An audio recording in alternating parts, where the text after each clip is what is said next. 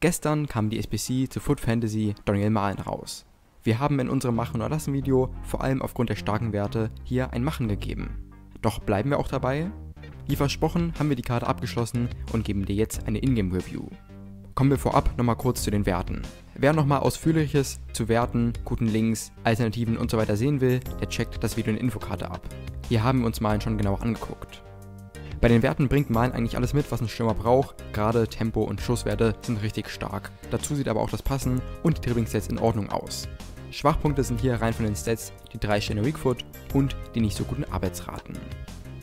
Wir haben Malen dann noch mit einem Marksman gespielt. Wie hat er sich jetzt also in-game angefühlt? Als erstes fiel mir auf, dass der Antritt nicht so nice war wie in den Stats. Hier hat er sich deutlich langsamer angefühlt. Generell war Malen auch selten präsent, das liegt vielleicht echt an den nicht ganz so guten Arbeitsraten. Hier hat er in der Offensive halt einfach nur Mittel. Dazu war auch der Schuss nicht ganz so nice, viele Schüsse gingen hier an die Latte.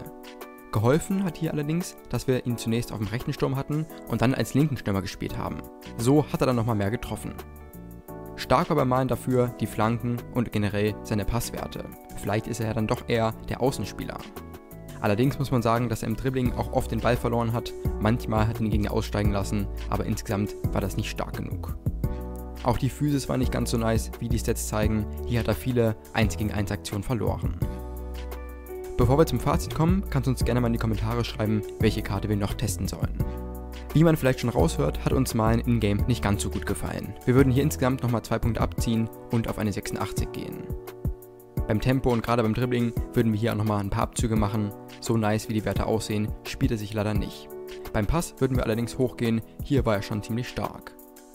Eventuell könnte man überlegen, Malen auf der 10 oder auf Außen zu spielen, hier sind auch die 3 Sterne Weakfoot dann nicht allzu schlimm. Die SBC von Malen kostet aktuell, wenn man kein Futter hat, ca. 150.000. Dafür ist er ganz okay, aber insgesamt im Spiel zu unkonstant. Er bekommt daher von uns eine 4 von 10. Nicht falsch verstehen, ganz miserabel war jetzt nicht, aber eben nicht wirklich den SBC-Preis wert. Hast du mal einen schon gespielt? Wenn ja, dann schreib uns gerne mal deine Meinung in die Kommentare. Lass gerne noch ein Like und ein Abo da, wenn dir das Video gefallen hat. Bis zum nächsten Mal.